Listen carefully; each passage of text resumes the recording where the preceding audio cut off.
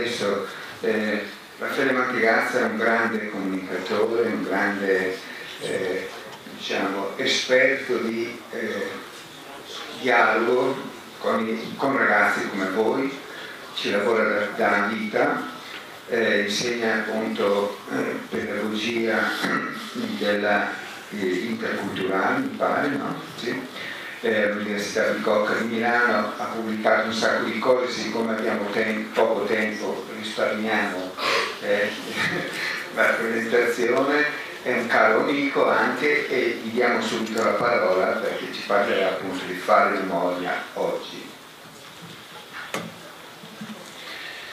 Buongiorno a tutti e a tutte, io credo che siete stanchi e stanchi, vi chiedo però un po' di pazienza, di provare a seguire il ragionamento che cercheremo di fare. In Argentina, un giorno di sole, un ragazzo di 26 anni, si chiama Ireneo Funes, decide di approfittare della bella giornata per fare un giro a cavallo nella Pampa argentina. Prende il suo cavallo, a un certo punto il cavallo inciampa e Ireneo Funes cade e batte la testa Normalmente quando si batte la testa c'è il rischio di perdere la memoria. Invece il Reno Funes ha esattamente l'effetto opposto, perde la capacità di dimenticare. Cioè da quel momento questo giovane argentino eh, ricorderà tutto, tutto quello che vedrà, tutto quello che incontrerà, non avrà più la capacità di dimenticare nulla. E dopo qualche settimana il Reno Funes si chiude in casa abbassa le tapparelle, vive al buio, sta sdraiato per tutto il giorno su un divano. Agli amici che vanno a trovarlo chiede di rimanere assolutamente immobili, perché dice ogni movimento, anche solo di un tuo dito, resterà impresso nella mia memoria per tutta la vita e durerà più delle piramidi d'Egitto.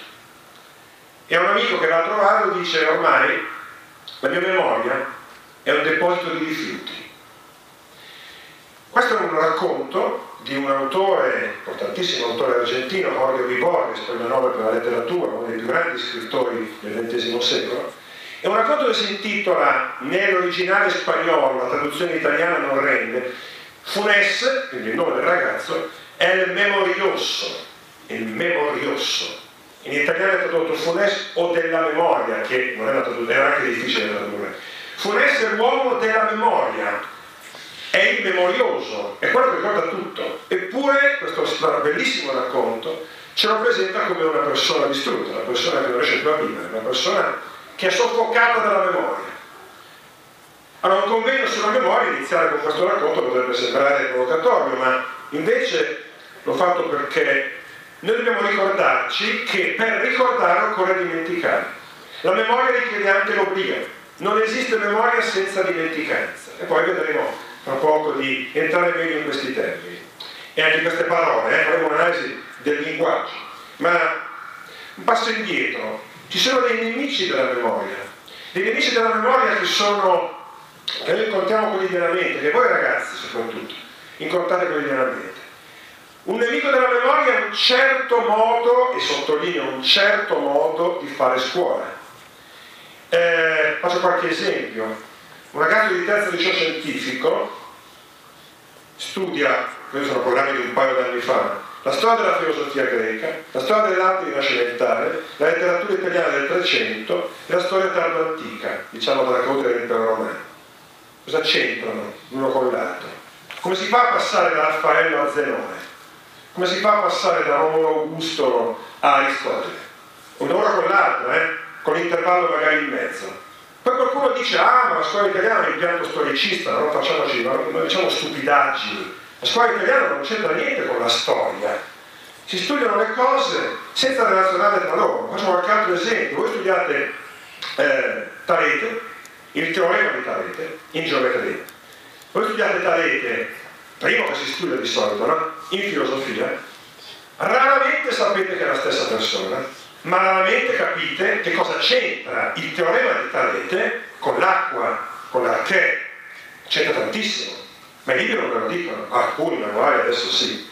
Voi studiate eh, Zenone, filosofo no? importante, e ma non so, quindi studiate la sua filosofia, in realtà si studia poco Zenone, eh? ma raramente vi dicono che Zenone, filosofo, Quando venne chiamato dal tiranno Dionigi, Zenone sembra che fosse un grande parlatore, e il tiranno di Siracusa gli dice vieni alla mia corte e fai il mio portavoce, fai il mio agente di stampa, si chiamerebbe oggi.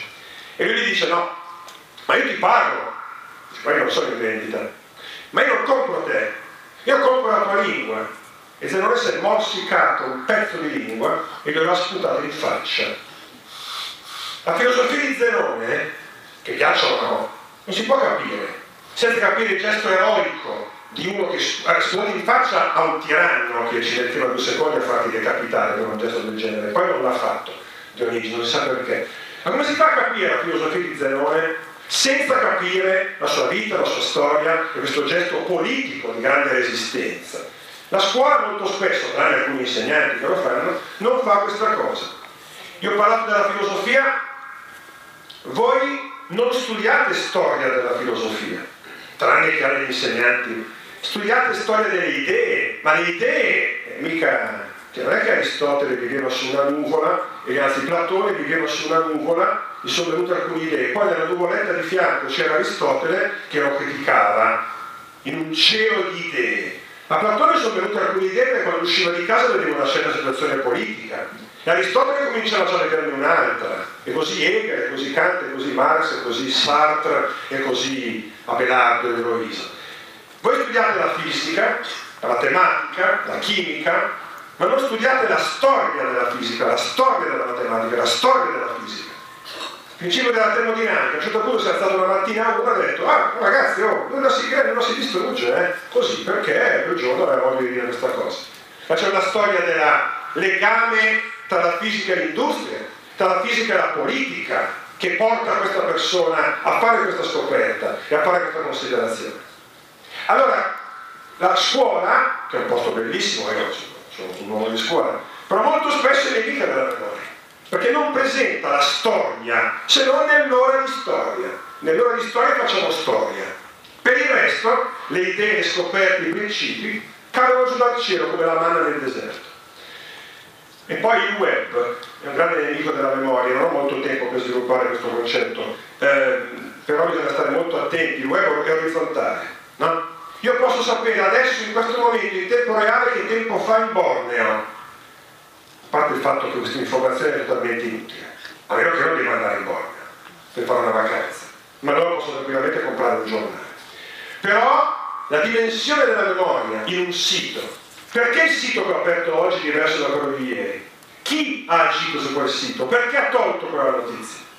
Non si sa, è tutto orizzontale. Non ho tempo di approfondire questa cosa, lo faremo magari in un'altra conferenza, poi ci daremo a dirlo, che è importante.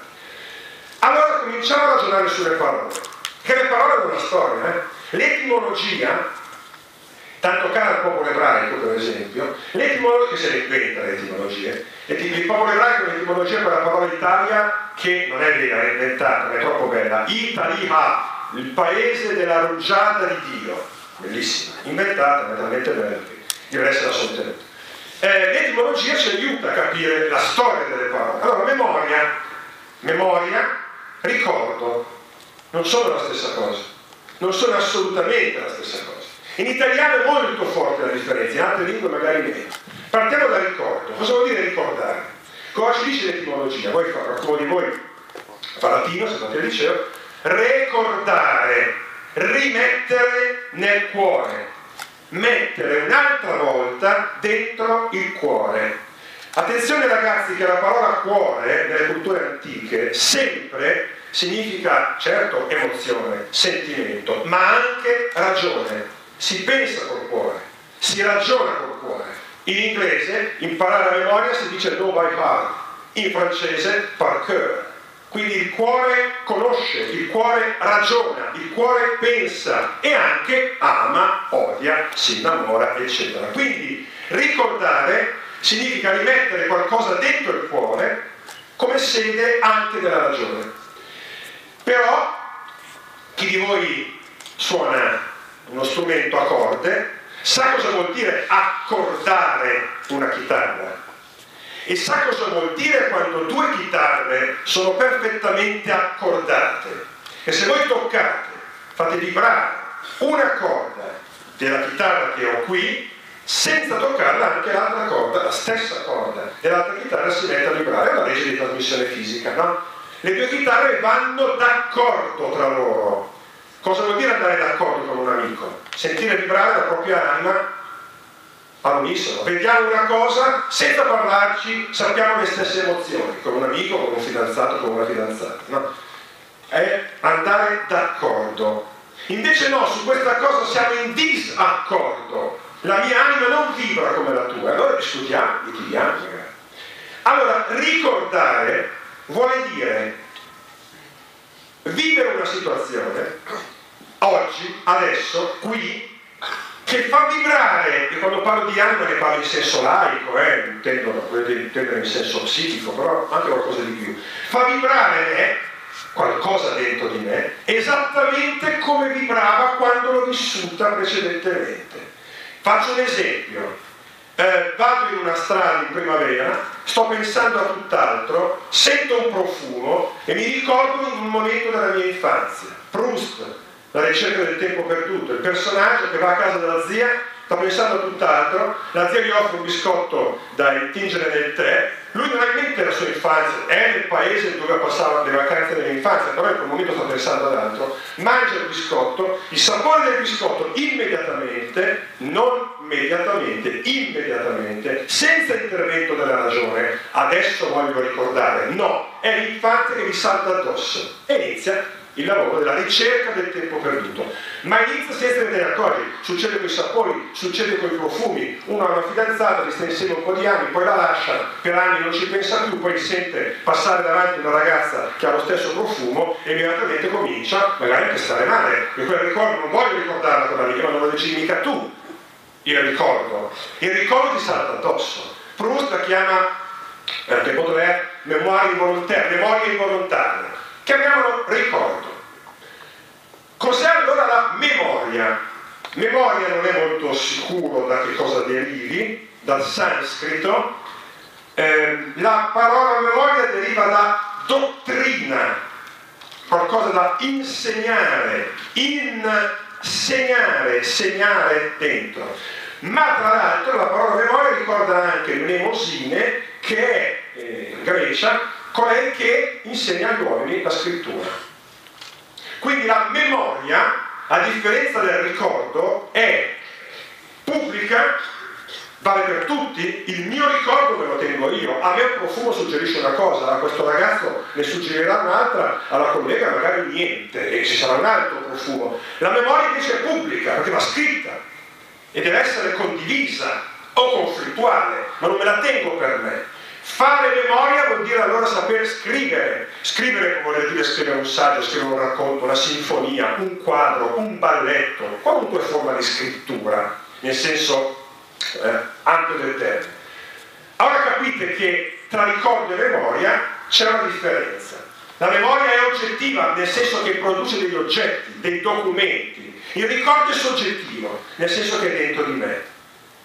Problema, se noi lasciamo separate queste due dimensioni è un problema enorme. Perché i ricordi che non diventano memorie si perdono. Se Proust avesse assaggiato il biscottino, avesse vissuto la sua infanzia un'altra volta e poi fosse tornato a casa, avesse fatto il, il bancario, noi non sapremmo nulla di questa cosa. Proust poi aveva un problema, come faccio io a tradurre questo ricordo intimo in una scrittura, in un libro, anzi in sette libri, la recherche, che potranno essere letti per i prossimi secoli. Quindi i ricordi, se non diventano memoria, si perdono inevitabilmente perché i profumi svaniscono, i sapori se ne vanno, le stagioni passano, arriva la morte e i nostri ricordi con la nostra morte, a parte chi crede naturalmente in una vita futura, ma per quello che ne sappiamo i nostri ricordi scompaiono con noi. La memoria senza il ricordo è arida. Eh? Chi fa la quinta ricorderà Kant quando dice le sensazioni senza concetti sono cieche eccetera eccetera eh, spero ricordate Kant sapete che c'era uno che si chiamava Kant faceva il filosofo. A tempo perso faceva il filosofo. Che era così preciso che quando usciva di casa nel suo villaggio di Königsberg a fare la passeggiata alle 5 i suoi concittadini regolavano gli orologi. Poi è uscito a casa sono le 5 mettiamo a posto gli orologi sembra che sia vero eh? comunque una leggenda simpatica su questo, questo grande filosofo Ehm, quindi La memoria senza il ricordo è arida, ve l'avete ad esempio quando imparate i ragazzi che hanno fatto l'esame di guida o che stanno facendo l'esame di guida, imparate a memoria non soltanto la teoria, ma anche il modo di guidare, non so se è ancora così con le mani sulle 10 e un quarto, queste sciocchezze totali, le imparate soltanto per quel momento e poi non vi servono più, perché non solo ricordo, non vi fanno emozionare, oppure quando preparate Uh, sì, esatto, così. Sarai sicuramente promosso l'esame di guida, complimenti, non guiderai mai così per tutta la tua vita, nemmeno per sbaglio, no? E poi si guida con, così, con il cellulare che scende del corpo, queste cose criminali che noi facciamo, però esatto, hai fatto molto bene. Um, la memoria senza ricordo è quella che voi ragazzi mettete in campo quando studiate qualche cosa unicamente per... Oh, morto il microfono.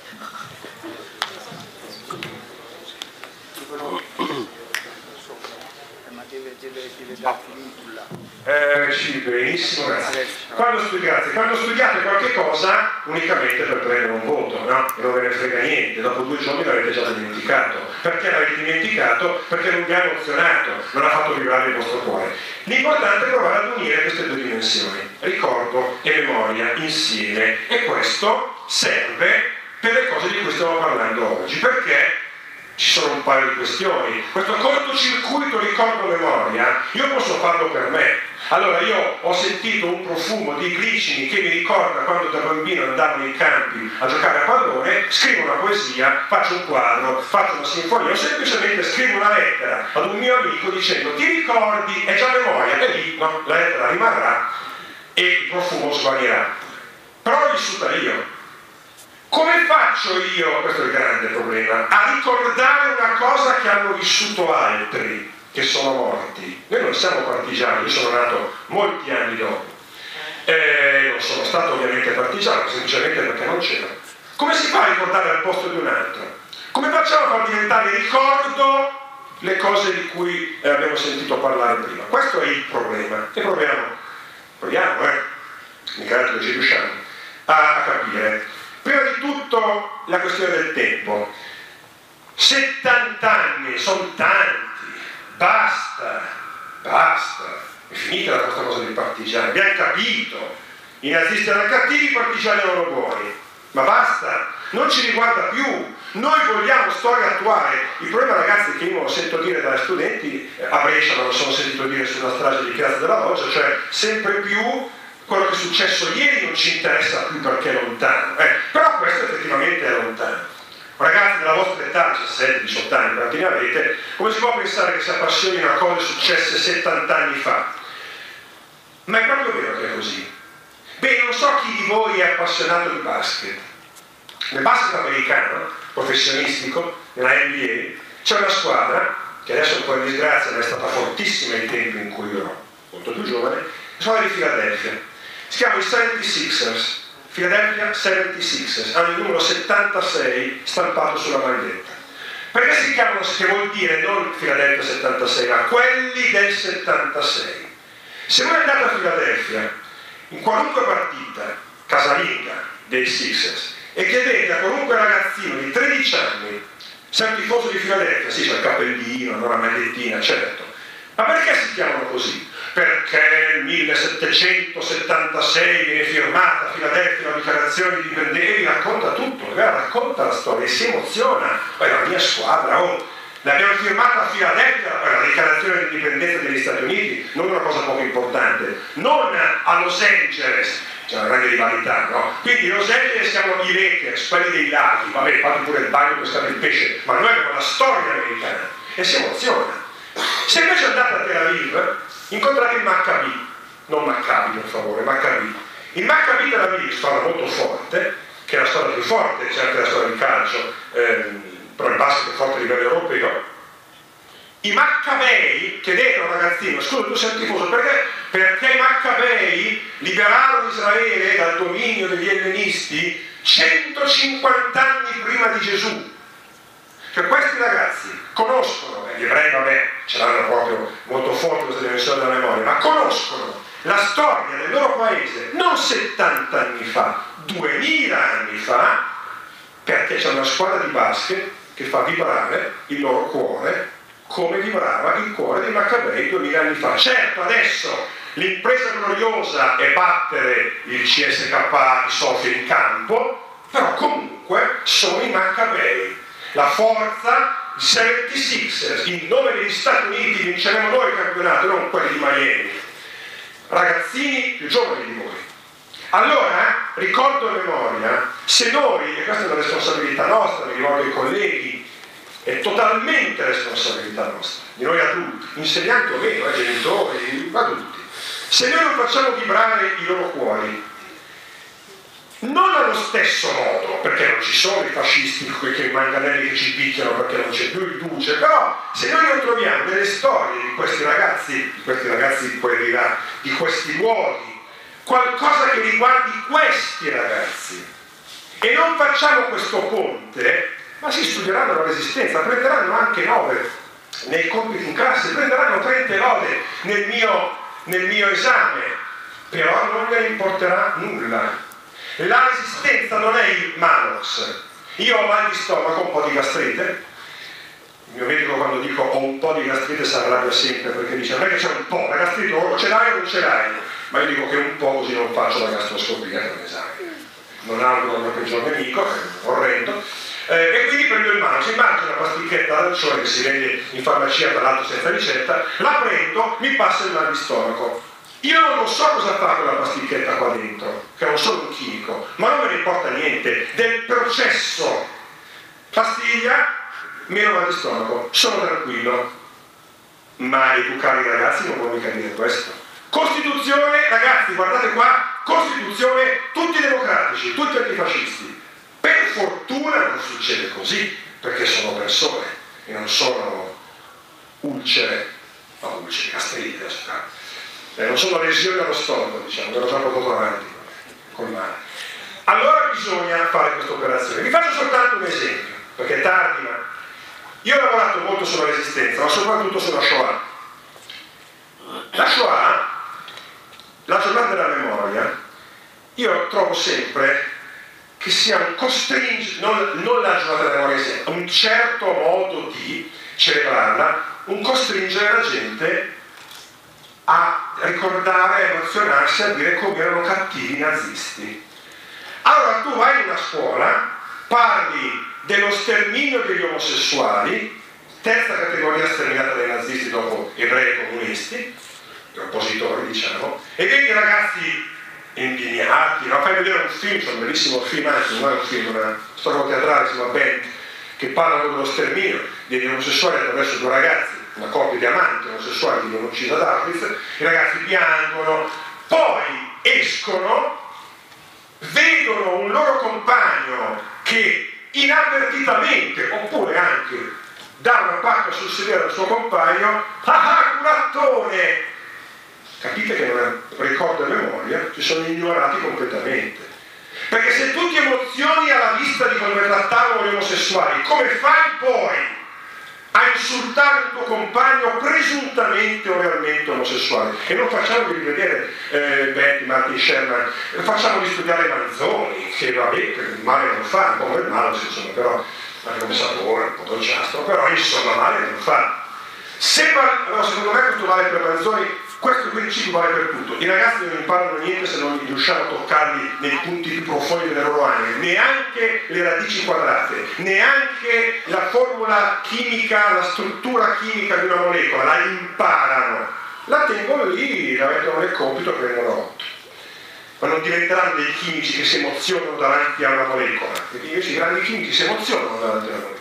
Turing diceva io davanti a una formula chimica mi emoziono, come tu davanti a una poesia, diceva al suo compagno di liceo, di high school. No? Eh, l'esempio della Shoah. Io dico sempre ai miei studenti, anche ai ragazzi qui vado molto nelle scuole come stamattina, ai ragazzi un po' più giovani come voi, ma anche più piccoli di voi. Quando vi dicono la Shoah, la prima cosa che facevano i deportati era farli spogliare completamente. Non bisogna chiedersi come si sentivano loro, perché è impossibile sapere come si sentivano loro. Ma proviamo a pensare, la prima volta che nello spogliatoio di calcio a 12-13 anni ci siamo denudati davanti ai compagni anche con la vergogna di farlo, come ci siamo sentiti? Come ci sentiamo quando veniamo, eh, dobbiamo esibirci nudi in pubblico anche soltanto per attraversare la doccia? Come facciamo a superare questa cosa? Io ho fatto l'allenatore di basket per 20 anni, ragazzini di 13-14 anni che si vergognano a fare la doccia nudi, fanno la doccia in mutande, quelli lì non capiscono cosa vuol dire essere denudati pubblicamente davanti a 50 persone con nazisti perfettamente vestiti che ti prendono pure in giro, ma lo capiscono partendo dalle loro mutande, dalla loro vergogna, dalla mia, dalla vostra. E si fa il cortocircuito, che non vuol dire che è la stessa cosa essere nudi in una doccia di allenamento di calcio o essere nudi in una doccia di Aris, per la carità, ma se non passi dalla prima doccia non capisci la seconda, ma capisci, non la capisci veramente. Sai che li denudavano, oh, che cattivi, ma non è questa la memoria, questo è, questo non è niente. Prima si diceva non si resiste se non si spera, non si ricorda se non si spera. La memoria è legata alla speranza. Io ricordo una cosa bella perché voglio ripeterla, ricordo una cosa brutta perché voglio che non si ripeta più se fossimo condannati a rimanere nel presente non ci servirebbe a nulla non avrebbe nessun senso. Io ho accompagnato un gruppo di un gruppo, 600 ragazze ad Auschwitz un mese fa, in un progetto bellissimo, e quando siamo arrivati, io ho fatto il percorso di formazione con loro, alcuni di loro li ho accompagnati su, abbiamo fatto una serata insieme, prima della visita, ho visto i campi con loro, siamo ritornati.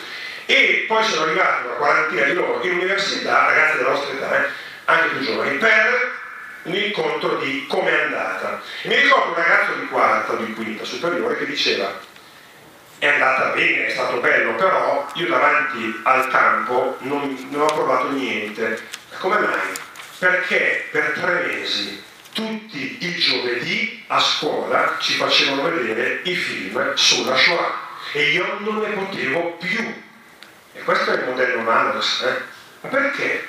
E il modello funesse, funesse, no? ti riempio la testa di memoria, arrivi lì, non ti emozioni più, non scatta più niente, sei saturo, sei saturo, con perfetta buona fede, eh, i colleghi, alcuni colleghi fanno questo, ma non è che ogni giorno dire ai ragazzi è l'ebreo massacrato, è il partigiano eroico, abbiano, facciamone, presentiamone uno, ma presentiamoli la persona, io dico sempre ai miei amici dell'AMPI, diciamo che i partigiani avevano paura, avevano paura, erano in montagna e dicevano porca miseria quanto mi piacerebbe essere, è la domenica pomeriggio di primavera, essere in un prato con la mia fidanzata a fare l'amore, invece sono qua questi bastardi, qua mi costringono, questi bastardi, questi bastardi, non perché hanno creato una dittatura, certo, ma perché a me costringono a stare qua invece di fare l'amore con la mia ragazza.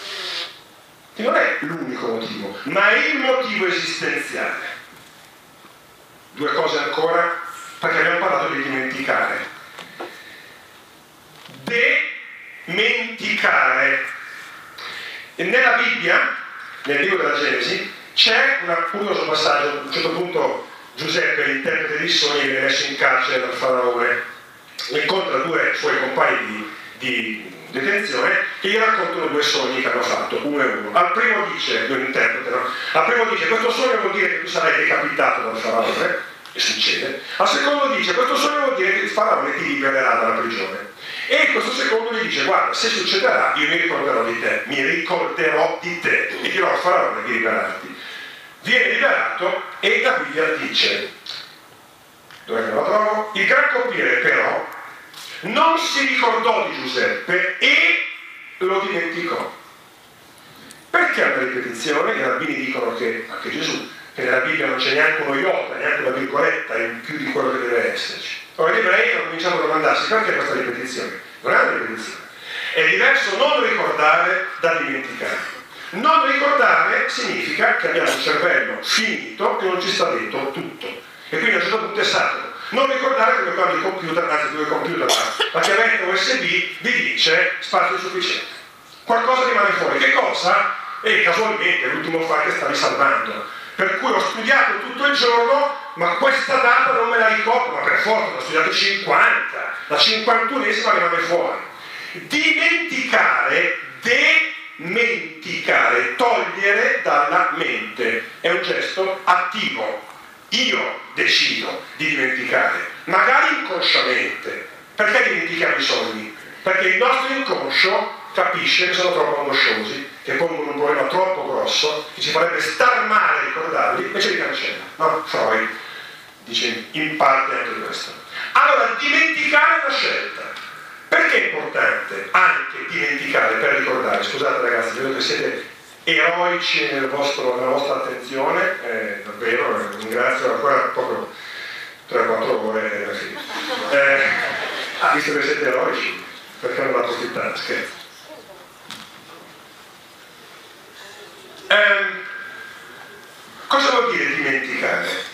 Facciamo un esempio quotidiano. Un vostro amico, amico intimo, con il quale andate d'accordo, vostro amico fraterno, durante una discussione vi dà uno schiaffo, uno schiaffo forte. Si può perdonarlo, si può dimenticare e per perdonarlo in qualche modo bisogna dimenticare, ma non subito. Prima di tutto ti deve passare il rosso sulla guancia. Perché se ti guardi allo specchio e vedi le cinque dita, il tuo corpo ti richiama a quanto è stato cattivo quel tuo amico.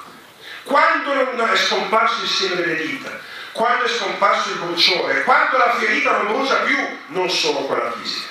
Cioè quando in qualche modo hai preso un po' le distanze, allora forse, poi vedremo cosa vuol dire forse, ma puoi cominciare a dimenticare. Io trovo incredibile che appena succede una tragedia, no? Ammazzano uno che a Milano l'altro giorno in tribunale, c'è la vittima, il parente della vittima, che appena arrivato, appena finito di vedere il cadavere del suo figlio, padre, fratello, aveva il giornalista, lei perdona gli assassini di suo padre? È deficiente, ma come si fa a fare una domanda del genere? Come si fa a farla?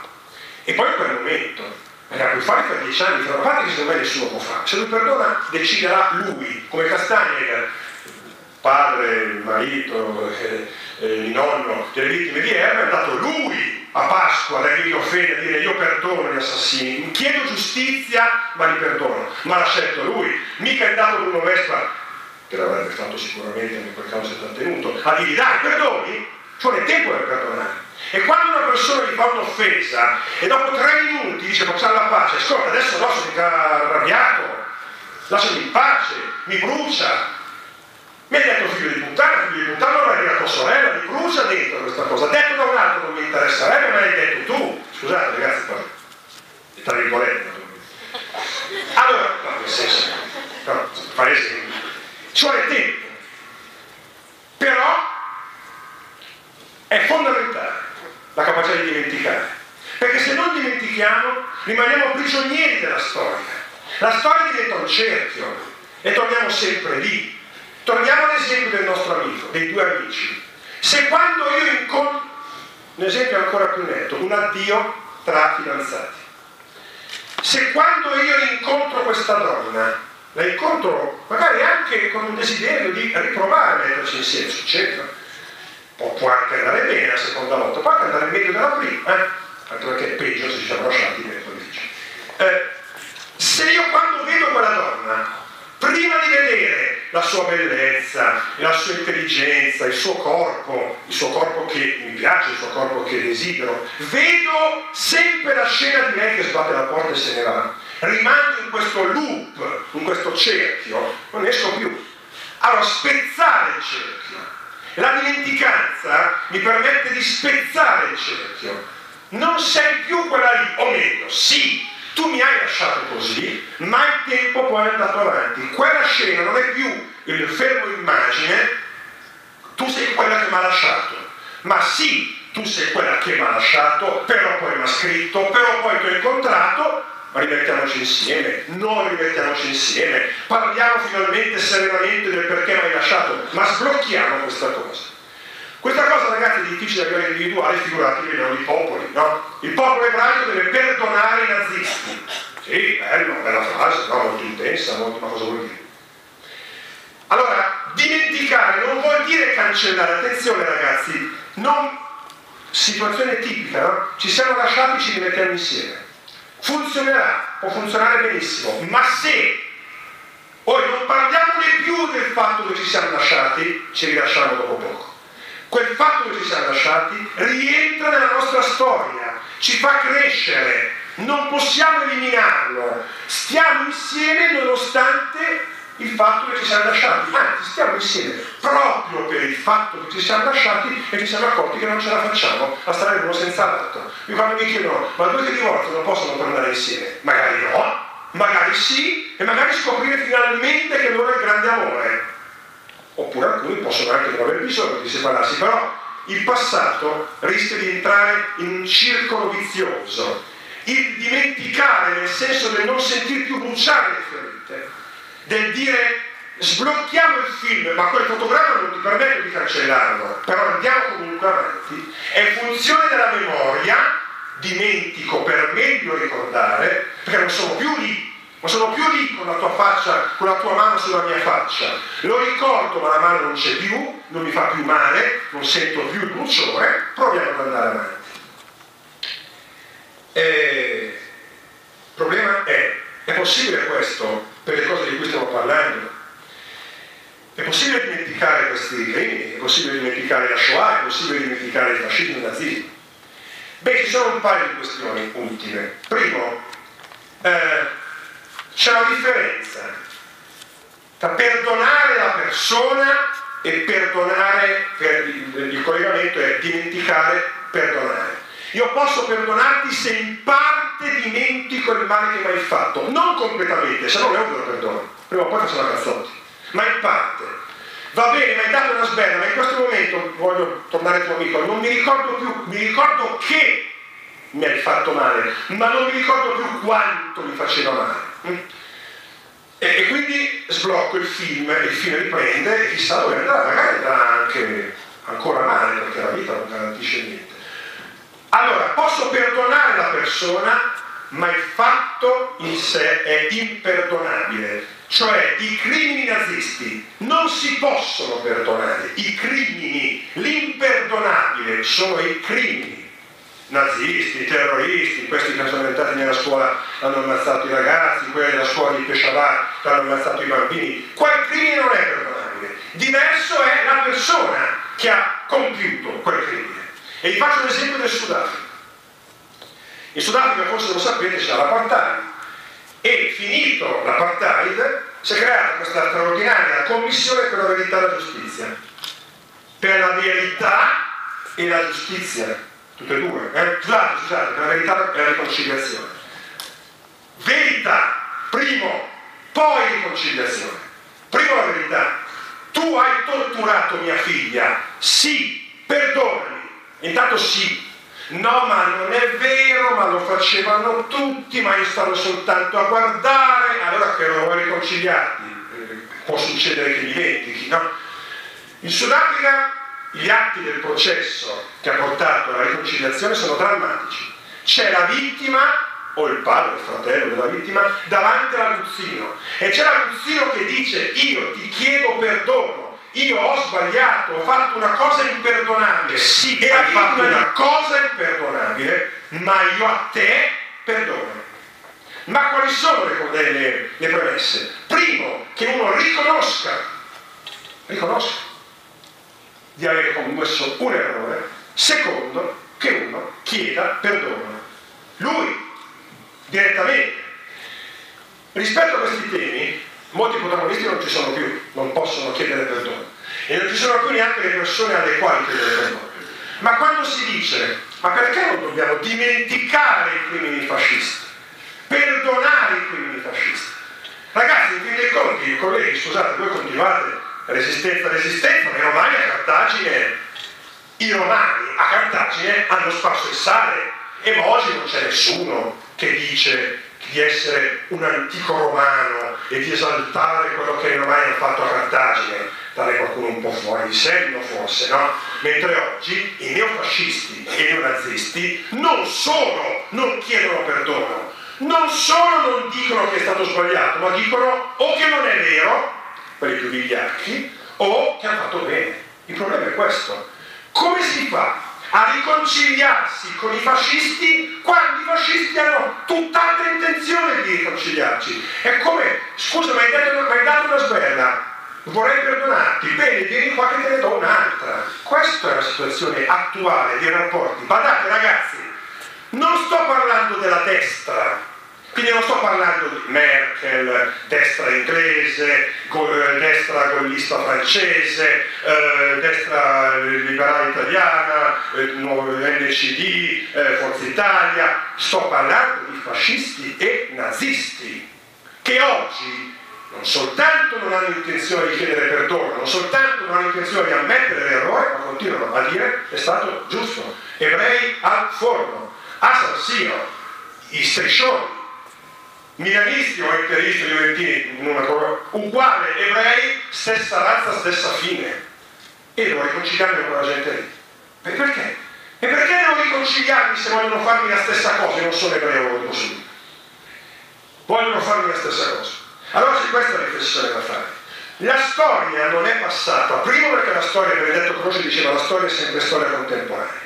Bellissima questa cosa, no? Se ti interessi degli egizi, se ti interessi proprio degli egizi, evidentemente stai, hai un interesse per il tema della morte. Gli egizi sono il popolo che maggiormente ha fatto riflessioni sulla morte, quindi pensi alla tua morte. E a questo serve la scuola. Eh? La scuola serve a darvi degli strumenti culturali di tutte le discipline scientifiche e umanistiche per trattare le vostre angosce, gioie, paure, speranze. Trattarle culturalmente. Uno può trattare il tema della morte anche in matematica, pensate a tutto il tema dell'infinito, pensate a tutto il tema dei limiti di funzione, pensate all'analisi matematica che studiate in quinta, lì c'è l'infinito, c'è la morte e c'è anche la speranza, che finalmente quella, quella sintoto con le due linee si incrocino. Uno può trattare il tema della morte in genere matematico, o il chimico il fisico, immaginatevi in chimica, il tema della morte in chimica organica, tutti i giorni lo affronti, no? Ecco, ma allora eh, il tema è proprio questo, eh, parlare di questi temi partendo dal ricordo, dal cuore, ma agganciandolo alla memoria, facendo questo passaggio. Allora, i nazisti non hanno chiesto perdono, i nazisti continuano a insistere nella loro ideologia e a dire che tutto quello era giusto. Vi consiglio la lettura di un libro di Helga Schneider. Helga Schneider è una donna che è nata in Germania durante il nazismo e è vissuta in Italia per praticamente tutta la vita. Ultimamente scrive libri per bambini, ma ha scritto un paio di libri che tra l'altro molto bene anche per gli adulti, ma i primi che ha scritto sono libri rivolti al pubblico adulto e il primo libro di cui vi parlo, penso sia il primo o il secondo che ha scritto, si chiama Lasciami andare madre dico tremendo eh ragazzi, cioè, però lo consiglio. La storia è questa, vera. La mamma di Helga Schneider, che aveva lei e un bambino più piccolo, fratellino, a un certo punto lascia la famiglia per andare a fare carriera nell'SS, siamo nel nazismo naturalmente. E la carriera la porta ad essere una delle aguzzini di, dei campi di sterminio. Abbandona la famiglia, immaginatevi, figli disperati, e crescono senza mamma, poi in realtà la mamma torna, prende il bambino, lo porta con sé la femmina, no? perché tu sei femmina invece di il Führer con i maschi, detto dalla donna. Finisce la guerra, la mamma non viene condannata, la figlia dice non voglio più vederti, vengo in Italia, vivo in Italia, faccio la, la scrittrice, a un certo punto però dice no, qui c'è una, un, eh, lo, lo schiaffo non fa più male, no? vado, e nel libro Lasciami andare madre racconta il suo incontro con sua madre 30 anni dopo. La madre viene in ospizio, è un po' annebbiata, però ha dei momenti di grande lucidità e a un certo punto la figlia le dice mamma, ma perché hai fatto quelle cose lì? Ah, gli dice mamma, ma è vero che hai ammazzato gli ebrei? Sì, sì. Ma tu aiutavi a scaricare gli ebrei, a denudarli, a tatuarli, a portare le canne a gas? Sì, sì, certo. E guarda che lo faceva anche bene perché ho ricevuto anche un elogio dal capo ma perché le fatte? Perché era giusto. Bisognava ammazzarli. E la ragazza, Erika Schneider, esce dall'ospizio, se ne va, non saluta la madre e la lascia. Capite? E questo è il tema. Il tema non è una ideologia, un partito, un gruppo politico, una persona che ha commesso un'atrocità e a un certo punto si è resa conto e ha chiesto perdono. Eh, tipo che ha commesso atrocità e dice andava bene così. Questo è un tema fondamentale. È, è lo stesso tema per cui a volte mi domandano ma perché voi non volete i fascisti in Parlamento? Siete democratici, no? In Parlamento c'è eh, SEL, il PD, Forza Italia, la Lega, eh, la legge Mancino, la legge Mancino, tra l'altro, ragazzi, legge dello Stato, non dice soltanto che non può sedere in Parlamento un partito fascista, ma qualunque partito faccia anche solo minimamente propaganda razzista qualunque partito abbia dei manifesti elettorali, dei programmi dove ci sono elementi di razzismo non potrebbe sedere in Parlamento. Lascio a voi trarre le conclusioni. È una legge dello Stato, eh? non è una raccomandazione o una disposizione transitoria come quella della Costituzione. Però va bene. Ma perché i fascisti no? Siamo democratici, come in Parlamento c'è Forza Italia e c'è il PD, partito fascista. È difficile, anche qui, noi adulti, dobbiamo piantarla di indignarci quando i ragazzi ci fanno questa domanda. Perché un ragazzo che fa questa domanda fa una domanda intelligente, l'antifascismo, la pregiudiziale antifascista non è il Manos, no? Allora, io faccio sempre l'esempio della partita di calcio, poi chi? Facciamo una partita di calcio, ma siccome siamo democratici e antifascisti, giocano tutti. È la partita di calcio più democratica del mondo. No, no, no, va benissimo. È la partita di calcio più democratica del mondo ma io sono un po' scarso, ma figurati dai, quindi ci divertiamo. Ma io tengo all'Inter, al Milan, alla Juve, ma non ci importa, anzi, così essere la tua passione. Ma io sono su una carrozzina, su una sedia a rotelle. Non guarda, troviamo il modo, ti mettiamo, passi la palla, riesci comunque girando la carrozzina. Tutti giocano. E io sono omosessuale, non ce ne frega niente. Io sono musulmano e ti pare che ci importi qualcosa, basta che sai giocare, anzi, ti diverti. Io, arriva uno, voglio giocare con le mani ma non voglio fare il portiere. Io voglio fare il centravanti e giocare con le mani. Siete democratici? Fatemi giocare. Nessuno farebbe giocare questo. Perché questo distrugge il gioco, attacca la regola fondamentale del gioco. Se vuoi usare le mani va a giocare a palla canestro o a pallavolo. Quando i fascisti chiedono spazi al, al pubblico, cioè chiedono di partecipare alla vita democratica, sono gli stessi che dicono, e bisogna dire in modo molto chiaro, che vogliono abbattere la democrazia. Eh, poco è il 25 aprile, uno slogan, chiedo scusa devo dire una parola volgare ma la cito, uno slogan dei neofascisti è il 25 aprile è nata una puttana e l'hanno chiamata Repubblica Italiana. Questo dicono nelle loro manifestazioni. E poi però alla puttana vanno a chiedere, eh no, sei democratica, ma sei tu che non sei democratico. Sei tu che dici che la democrazia va abbattuta e chiedi alla democrazia di farti giocare a pallone pur sapendo che programmaticamente userai le mani. Questo ragazzi è la differenza tra il neofascismo e il neonazismo il neonazismo e la destra in generale. La destra accetta le regole del gioco e mette in campo le sue idee che io posso condividere, che io posso non condividere ma la destra dice se le mie idee hanno la maggioranza allora saranno, diventeranno leggi, se no cercano di fare propaganda, pubblicità. I nazisti e i neonazisti dicono le mie idee le impongo con la violenza perché io sono, scusami, io sono superiore a te, anzi facciamo il contrario, tu sei superiore a me, perché sei più bello, sei intelligente, sei ariano, più occhi azzurri, sono uno sfigato, ebreo, omosessuale, si muove di Geva, tutti proprio.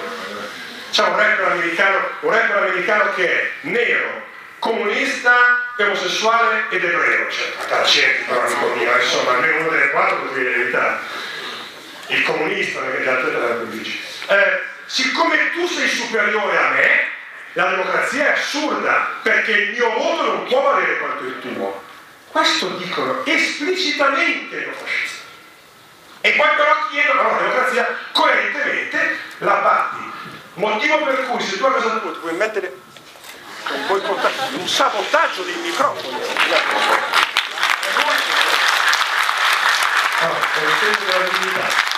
se tu a casa tua ti vuoi mettere la divisa di Hitler, guardarti i filmati dell'SS, riunire i tuoi amici, fare il saluto nazista e proclamare il quarto Rai a casa tua, fai quello che vuoi in uno spazio pubblico, no, perché la democrazia si deve difendere da te, mentre invece se SEL, Forza Italia, il PD, il nuovo centro democratico e naturalmente non me li ricordo tutti, i 5 Stelle chiedono la sala del comune di Brescia, siccome non andranno lì a dire queste cose, gliela si dà, poi magari diremo non siamo d'accordo con quello che dite, vi contestiamo, facciamo un manifesto, ho scritto, dite delle cose sbagliate.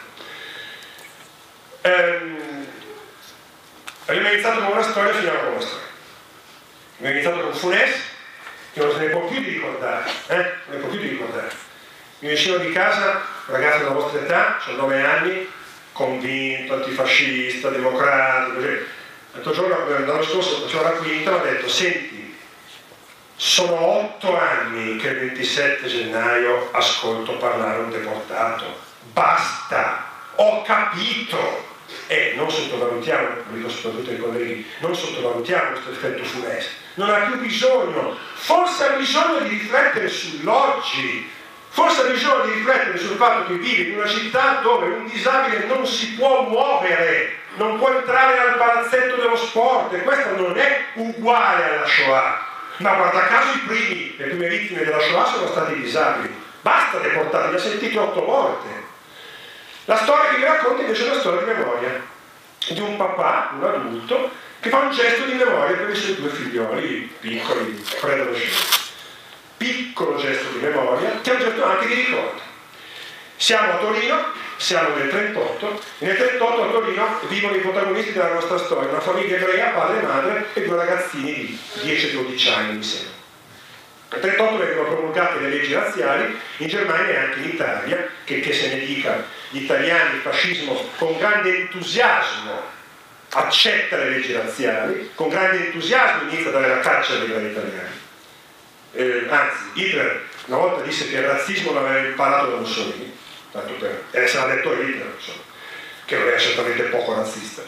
E questa famigliola, i genitori ovviamente dicono allora, prima di tutto salviamo i bambini, a noi vabbè, se anche ci ammazzano, ma i nostri figli salviamo, no? E allora eh, vengono a sapere che in un monastero, in un convento, alcuni frati nascondono dei bambini ebrei. Vanno a suonare al convento con i bambini, esce il frate, sì sì dai, lasciateli qua, ve li nascondiamo noi, teniamo, siamo tranquilli, siamo sicuri che non li prendono. Poi papà e la mamma, immaginatevi, no? quale stato d'animo, abbracciano i loro bimbi, li lasciano lì, vanno, i bambini entrano in questo monastero e il giorno dopo, proprio il giorno dopo, i genitori vengono arrestati. Vanno a Torino alle carceri nuove, le carceri nuove di Torino erano i luoghi delle torture fasciste. Non vanno ad Auschwitz, riescono ad, ad essere liberati tramite un giro, tramite l'arcivescovo di Torino, che anche lui ha cercato di fare, uomo di chiesa, ha cercato di fare tutto il possibile per opporsi al fascismo, gli fanno trovare quattro passaporti falsi, due per loro, due per i bambini, o domani, domani dovete essere in Francia, subito, scappate, che già è andata bene che venivano liberato. I due, otto mesi di carcere fascista, escono e vanno subito a prendere i bambini. Vanno a prendere i bambini, suonano, arriva il prete, ah sì sì, adesso li riporto subito, ah beh, non ho saputo, ho saputo, mi raccomando, scappate, adesso li riporto. Arrivano i due ragazzini, chiaramente abbracci, baci, e immaginate questi due signori, otto mesi di tortura, il papà a un certo punto abbraccia i suoi bambini, poi dice state un attimo fermi bambini, adesso il papà mi deve insegnare una cosa. Era un padre molto, un po' austeri, un po' severi, no? molto amorevole, ma anche quei papà di una volta, un po'. Vi devo insegnare una cosa, vi devo insegnare cos'è il fascismo. Cioè, che sta scappando, c'ha poco tempo, deve spiegargli anche i passaporti, gli dicono un nuovo nome, e eh, ci vorrà tre ore, anzi ci vorranno sei anni. Ma questo papà non fa una lezione di storia, non fa una lezione di politica, non fa citazioni, non gli fa leggere un libro di Mussolini, mette la mano in tasca del paltò e tira fuori un pezzo di pane, una pagnotta, una pagnotta che ha rubato la mensa del carcere. Allora mio padre, che era del 29, mi raccontava che in libertà, cioè in giro, eh, io sono di Como, a Como mangiavano il pane fatto con la segatura fuori dal carcere, immaginatevi cosa mangiavano i carcerati, era una roba immangiabile. Prende questa pagnotta, pezzo di pane, spezza in due e da un pezzettino a un filo, un pezzettino all'altro, dice mangiatelo. Fa schifo, puzza, ma dovete mangiarlo perché non dice il papà. Poi due ragazzini obbedienti mangiano, masticano, una roba, si fa quasi il vomito, mandano giù e papà gli dice eh, che sapore ha? È schifo papà, è merda, ma che schifo, puzza, mi viene il vomito. Bene ragazzi, questo è il sapore del fascismo. Uno dei due bambini, Aldo Zargani, eh, scriverà questa cosa in un libro che si chiama Per violino solo. Questo episodio lo racconterà in un libro uscito una decina d'anni fa, e poi di più, racconterà questa storia e dirà per me è quel sapore. Poi certo ho studiato le cause politiche, economiche, ci mancherebbe per capire, no? Ma a partire da quel sapore ho pensato, ma perché in Italia c'è stato quel sapore per vent'anni? Vado a studiarmi i testi, la storia, le testimonianze, i discorsi del Duce e a studiarmi e a fare diventare memoria questo ricordo.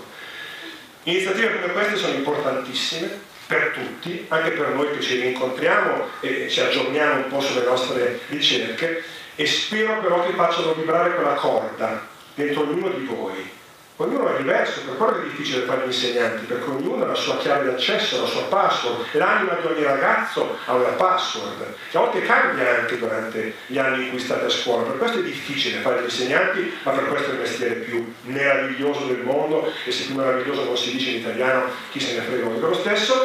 Eh, spero che iniziative come queste vi facciano vedere un sapore, però, e chiudo davvero, non solo il sapore aspro, schifoso, puzzolente del fascismo, anche il sapore dolce, bello, gioioso della libertà, della democrazia, del poter vivere serenamente. Eh, non possiamo continuare a parlare di quegli anni soltanto come torture, omicidi, Shoah, campi di sterminio, per un motivo molto semplice, che alla fine i nazisti hanno perso e quello che ha vinto è il sapore della democrazia. Oggi sarà un po' anacquata, saprà un po' di sale, gli mancherà un po' di peperoncino, ma per il momento democrazia è e rimane con un sapore che sicuramente non è quello di quei due pezzi di pane.